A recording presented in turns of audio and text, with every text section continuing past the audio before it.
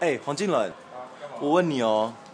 你觉得你在高中三年来印象最深刻的是什么啊？高中哦，就是有一次，我们社团去高雄啊比手指比赛，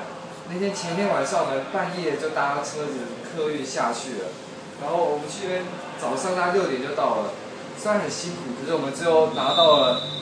前三名，然后我也拿到第二名，前三名都我们社团拿到，就感觉很爽，很有成就感，应该算高中最有印象的事情。